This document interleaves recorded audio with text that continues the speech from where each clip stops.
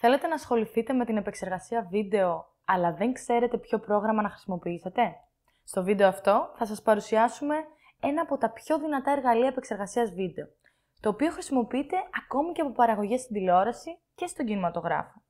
Τόσο για color grading, αλλά και για επεξεργασία, που δεν είναι άλλο από το DaVinci Resolve. Σε αυτό το εισαγωγικό βίντεο θα σας δείξουμε τα βασικά στοιχεία του περιβάλλοντος του DaVinci ώστε να καταλάβετε τι περιέχει και τι μπορείτε να πετύχετε με τη χρήση του εργαλείου αυτού. Οι λόγοι που επιλέξαμε να σας παρουσιάσουμε το συγκεκριμένο πρόγραμμα επεξεργασίας είναι πρώτον ότι αποτελεί μια ολοκληρωμένη σουίτα επεξεργασίας βίντεο και ήχου, περιλαμβάνει δηλαδή όλα τα εργαλεία που θα σας χρειαστούν.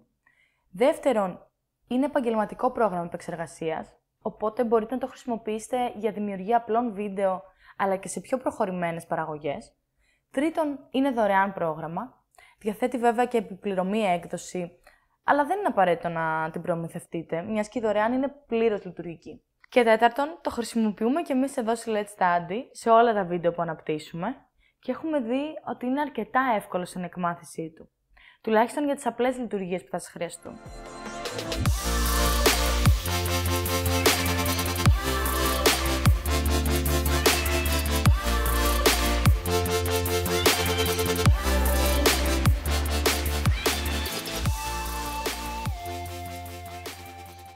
Γεια σας. Είμαι η Ελένη Παναγιωτοπούλου, υπεύθυνη δημιουργίας βίντεο για την πλατφόρμα της Let's Study.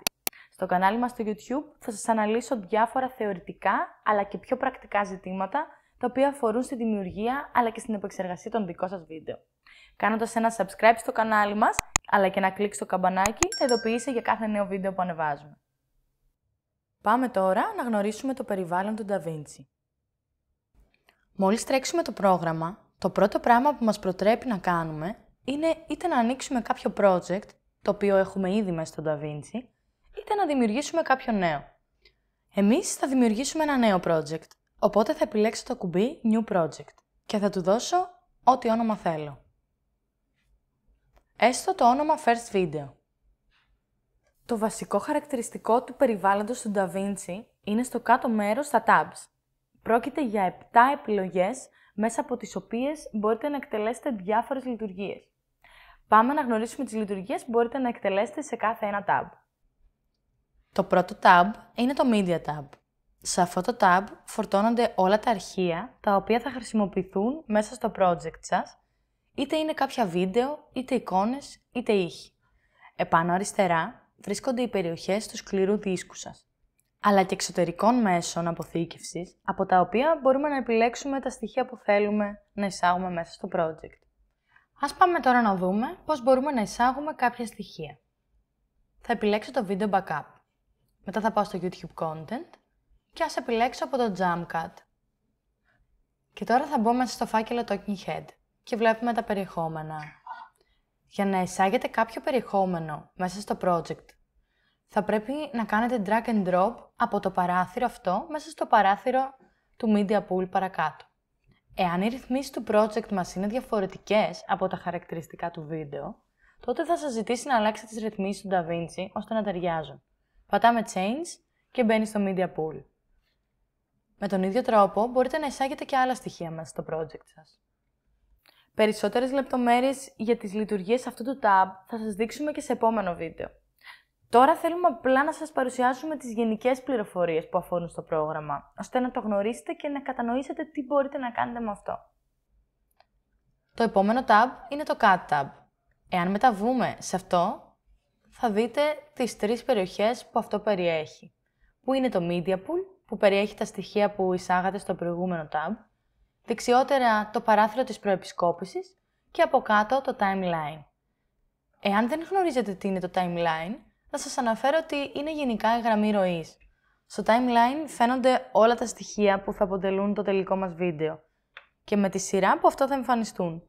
Το κόκκινο βελάκι ονομάζεται playhead και ουσιαστικά είναι το σημείο που μας δείχνει τι θα εμφανίζεται σε κάθε frame στην έξοδο. Δηλαδή, ό,τι βρίσκεται στο timeline κάτω από το playhead είναι και αυτό που θα φαίνεται στην έξοδο. Θα το δούμε και σε επόμενα βίντεο, οπότε θα το καταλάβετε και καλύτερα, μη σας ανησυχεί προς το παρόν. Στο Cut Tab γίνεται μια γενική ρύθμιση των clips. Πού θα μπαίνει το κάθε ένα, πόσο θα κρατάει, πού θα κόβεται το ένα και που θα μπαίνει το άλλο και γενικά ρυθμίσεις που αφορούν στη σειρά των clips. Οι ρυθμίσεις αυτές μπορούν να γίνουν και στο βασικό tab, που είναι για το edit, αλλά στο cut υπάρχουν κάποιες λειτουργίες που συντομεύουν την ταχύτητα επεξεργασίας και συγχρονισμού. Και περνάμε στο επόμενο tab, που είναι το edit tab. Αυτό είναι και το tab στο οποίο θα κάνετε τη μεγαλύτερη δουλειά και στο οποίο θα εργάζεστε συνήθως. Όπως λέει και το όνομά του, εδώ γίνεται όλο το edit, όλη η επεξεργασία του υλικού σας δηλαδή. Υπάρχει και εδώ το παράθυρο της προεπισκόπησης, όπως και το ίδιο timeline, όπως και στο cut. Σε αυτό το σημείο ήθελα να σας αναφέρω ένα πολύ βασικό χαρακτηριστικό του DaVinci. Το timeline είναι κοινόχρηστο σε όλα τα tabs. Εάν για παράδειγμα μεταβείτε με το playhead σε κάποιο σημείο του timeline μέσα στο edit και θέλετε για παράδειγμα να εισάγετε στο σημείο αυτό κάποιο animation ή να επεξεργαστείτε τον ήχο, όταν μεταβείτε στο αντίστοιχο tab, το playhead θα βρίσκεται ακριβώς στο ίδιο σημείο. Οπότε μπορείτε να ολοκληρώσετε την επεξεργασία που θέλετε χωρίς να χρειαστεί να ψάχνετε ξανά το ίδιο σημείο. Στο ίδιο παράθυρο επάνω αριστερά υπάρχει ξανά το Media Pool που περιέχει τα media που είχαμε βάλει στο Media Tab και από κάτω υπάρχει η παλέτα των εφέ όπου εκεί μπορείτε να βρείτε διάφορα εφέ μετάβασης ανάμεσα στα βίντεό σας αλλά και διάφορα στοιχεία και φίλτρα που μπορείτε να εισάγετε μέσα στο βίντεο με σκοπό να επιτύχετε τη λειτουργικότητα που θέλετε. Για να ξεκινήσετε να επεξεργάζεστε κάποιο βίντεο μέσα από το DaVinci Resolve, θα πρέπει να εισάγετε ό,τι χρειάζεστε στο timeline. Για να εισάγετε κάποιο αρχείο στο timeline, αρκεί να το κάνετε drag and drop από το media pool μέσα στο timeline και να το αποθέσετε στο σημείο στο οποίο θέλετε να τοποθετηθεί.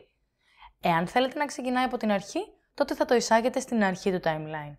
Όταν το κάνετε αυτό, βλέπετε ότι δεξιά υπάρχει ένα παράθυρο, ο Inspector, που σας εμφανίζει τις πληροφορίες του υλικού, τις ιδιότητες του υλικού που έχετε επιλεγμένο στο timeline. Μέσα από αυτό το παράθυρο μπορείτε να αλλάξετε μία ή περισσότερες ιδιότητες ανάλογα με το αποτέλεσμα που θέλετε να έχετε. Το tab αυτό περιέχει πληθώρα εργαλείων, τα οποία θα αναλυθούν στα επόμενα βίντεο, που θα ανεβάσουμε στο κανάλι της Let's Study στο YouTube. Στο σημείο αυτό, απλά για να καταλάβετε το τι μπορείτε να κάνετε μέσα από αυτό το tab, θα σας δείξω ότι με το εργαλείο Blade, για παράδειγμα, μπορείτε να διαχωρίσετε το βίντεό σας. Να το κόψετε δηλαδή σε κάποια σημεία με σκοπό είτε να αφαιρέσετε το σημείο που δεν χρειάζεστε, είτε για να αλλάξετε τις ιδιότητες σε κάποιο άλλο κομμάτι του βίντεό σας. Για παράδειγμα, εάν το κόψουμε σε αυτό το σημείο και πάμε στο δεύτερο κομμάτι και αλλάξουμε από το παράθυρο των ιδιωτήτων το zoom, Εάν πάμε με το playhead λίγο νωρίτερα και πατήσουμε το play, θα δούμε και το τελικό αποτέλεσμα στο παράθυρο προεπισκόπησης. Μπορούμε να κάνουμε οποιαδήποτε επεξεργασία επιθυμούμε μέσα σε αυτό το tab. Να εισάγουμε κείμενα να εμφανίζονται σε κάποια σημεία, εφέ μετάβασης μεταξύ των βίντεο, εισαγωγή έξτρα πληροφορίας, όπως για παράδειγμα εικόνες, καθορισμός κινήσεων μέσα στο βίντεο, αφαίρεση του green screen, συγχρονισμό εικόνας και ήχου εισαγωγή background ήχου να παίζει πίσω από το βίντεό σας και γενικά οτιδήποτε αφορά σε επεξεργασία των βίντεο. Το επόμενο tab που περιέχει το DaVinci Resolve είναι το Fusion Tab. Το Fusion Tab είναι ένα εξαιρετικά χρήσιμο εργαλείο, στο οποίο μπορείτε να δημιουργήσετε animations μέσα στο DaVinci.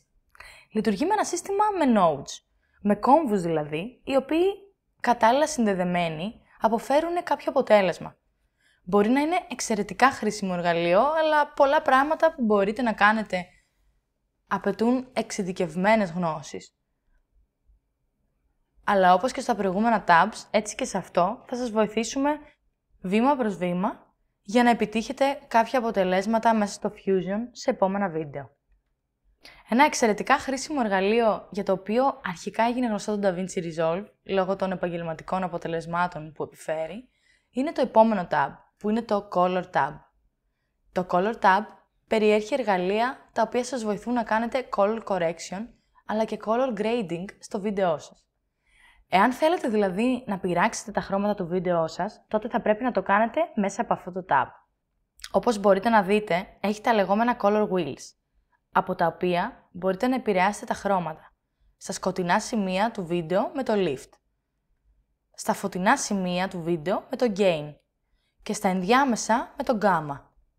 Με το offset μπορείτε να τα επηρεάζετε όλα μαζί. Υπάρχουν αρκετές ρυθμίσεις με τις οποίες μπορείτε να παίξετε, όπως είναι η ρύθμιση του temperature, της θερμοκρασίας δηλαδή, από την οποία μπορείτε να κάνετε το βίντεό σας πιο θερμό. Εάν πάμε προς τα δεξιά ή πιο ψυχρό, εάν πάμε προς τα αριστερά. Τα θερμά χρώματα επιφέρουν ένα πιο ζεστό κίτρινο στα βίντεό σας, ενώ τα ψυχρά μια πιο μπλε απόχρωση. Φυσικά, για να έχετε καλύτερη υποπτία του τελικού αποτελέσματος, εκτός από το παράθυρο προεπισκόπησης που υπάρχει, το Color Tab διαθέτει και πληθώρα διαγραμμάτων, που σας δείχνουν ακριβώς τι γίνεται με τους χρωματισμούς μέσα στο βίντεό σας και τα οποία σας βοηθούν να καθορίσετε με μεγάλη ακρίβεια το τελικό σας αποτέλεσμα. Κάτι καινοτόμο που χρησιμοποιεί το DaVinci στο Color Tab είναι η δομή των nodes, των κόμβων δηλαδή που βλέπετε πάνω δεξιά. Μπορείτε με τη χρήση των κόμβων να δημιουργήσετε μια ιεραρχική και σειριακή δομή ρυθμίσεων που αφορούν στο καθορισμό των χρωμάτων στο βίντεό σας. Για παράδειγμα, μπορείτε να έχετε έναν κόμβο στον οποίο θα κάνετε μόνο ρύθμιση του λευκού, το λεγόμενο white balance. Το αποτέλεσμα αυτού να το περάσετε σε έναν άλλο κόμβο, στον οποίο θα κάνετε ρυθμίσεις για το skin tone, δηλαδή τα χρώματα του δέρματος και ούτω καθεξής. Αυτό βοηθάει πάρα πολύ στην οργάνωση των ρυθμίσεων μέσα στο DaVinci Resolve. Οπότε, όταν θέλετε να κάνετε κάποια ρύθμιση σε συγκεκριμένο πράγμα, να το αλλάζετε από συγκεκριμένο κόμβο και να μην επηρεάζετε όλες τις άλλες ρυθμίσεις που έχετε κάνει σε άλλα σημεία. Θα τα γνωρίσουμε και αυτά σε λεπτομέρειες σε επόμενα βίντεο. Επόμενο tab, το Fairlight Tab. Το tab αυτό ασχολείται με επεξεργασία των ήχων που έχετε εισάγει στο DaVinci Resolve. Και εδώ υπάρχει το γνωστό timeline, μόνο που τώρα παρουσιάζει μόνο την πληροφορία του ήχου. Τα tracks δηλαδή μόνο εκείνα που περιέχουν τον ήχο. Από το tab αυτό μπορείτε να καταγράψετε ήχο μέσα στο DaVinci, αλλά και να κάνετε επεξεργασία στους ήχους που ήδη έχετε ενσωματωμένους. Για παράδειγμα, μπορείτε να κάνετε noise reduction στον ήχο που υπάρχει σε κάποιο track, εισάγοντας το αντίστοιχο φίλτρο, ή να παίξετε με το equalizer, ώστε να κάνετε ρυθμίσεις στην ένταση κάποιων συχνοτήτων, με σκοπό την ηχητική βελτίωση. Επίσης, μπορείτε να ρυθμίσετε την ένταση του ήχου στην έξοδο, αλλά γενικά μπορείτε να κάνετε ό,τι και στο Edit Tab για την εικόνα, αλλά αυτή τη φορά για τον ήχο. Πολύ δυνατό εργαλείο κι αυτό. Όπως μπορείτε να παρατηρήσετε, το DaVinci Resolve περιλαμβάνει σε μία σουίτα όλα τα εργαλεία τα οποία θα χρειαστείτε με σκοπό να δημιουργήσετε τα δικά σας βίντεο. Δεν χρειάζεται να έχετε διαφορετικό πρόγραμμα για την επεξεργασία ήχου, διαφορετικό πρόγραμμα για την επεξεργασία των animation, διαφορετικό για το editing και ούτω καθεξής. Όλα όσα θα χρειαστείτε μπορείτε να τα ολοκληρώσετε μέσα από το ίδιο περιβάλλον. Και πάμε τώρα στο τελευταίο μας tab, που είναι το Deliver tab. Μόλις έχουμε ολοκληρώσει όλη την επεξεργασία μας, μέσα από το tab αυτό κάνουμε render το βίντεο, ώστε να δημιουργήσουμε το τελικό μας βίντεο που θα περιέχει όλα όσα κάναμε στην επεξεργασία. Σε αυτό το στάδιο καθορίζουμε τα χαρακτηριστικά του τελικού μας βίντεο, όπως το είδος του αρχείου, την ανάλυση του βίντεο, την ποιότητα του βίντεο, τους codec για ήχο και βίντεο και γενικά όλα τα χαρακτηριστικά του τελικού αποτελέσματος. Έστω για παράδειγμα ότι θέλουμε να ανεβάσουμε το βίντεο στο YouTube. Μπορούμε να επιλέξουμε είτε το εικονίδιο του YouTube, είτε την επιλογή H264 το οποίο υποστηρίζει το YouTube. Αφού ρυθμίσουμε το όνομα του αρχείου που θα σωθεί, έστω demo video, και ας επιλέξω να το σώσει στην επιφάνεια εργασίας. Βάζω format το MPEG 4, ανάλυση την 1920 x 1080 HD και εφόσον είμαι OK, επιλέγω το Add to Render Queue. Οπότε μεταβαίνει στην αντίστοιχη στήλη και είναι έτοιμο να γίνει render. Να δημιουργηθεί δηλαδή το τελικό μας αποτέλεσμα. Πατώντας render, η διαδικασία ξεκινάει και σε λίγη ώρα, ανάλογα και με τα περιεχόμενα του βίντεό μας, η διαδικασία θα ολοκληρωθεί. Αυτά λοιπόν ήταν τα βασικά στοιχεία που ήθελα να σας παρουσιάσω για το DaVinci Resolve. Πιστεύω να πήρατε μια ιδέα του πόσο ισχυρό εργαλείο είναι και πιστέψτε με, θα σας λύσει τα χέρια στην επεξεργασία των βίντεό σας.